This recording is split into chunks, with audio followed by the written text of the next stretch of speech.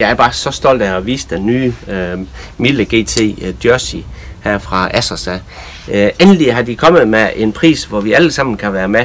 Så at du starter, og du vil prøve at gøre bekendtskab med, med Assers, så kommer du til det med en god økonomi her. Og så finder du også ud af, hvad kvalitet det er for noget. Øh, det her, det er en uh, Comfort Fit øh, Jersey. Øh, det, der er specielt ved den, den er selvfølgelig øh, totalt øh, UV-testet og så videre. Øh, men udover det lækre materiale, den har nogle kraftige lommer her med fang i også, så du ikke tager noget fra din baglomme her.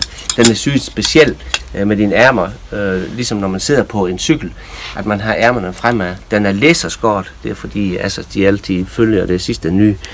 Øh, det er at få den her købt og få den prøvet af her til sommer her, den er rigtig, rigtig, rigtig lækker, når vi kommer op i det her tocifrede øh, grader her. Så få den lagt i ko. Husk lige at give den her film en toms.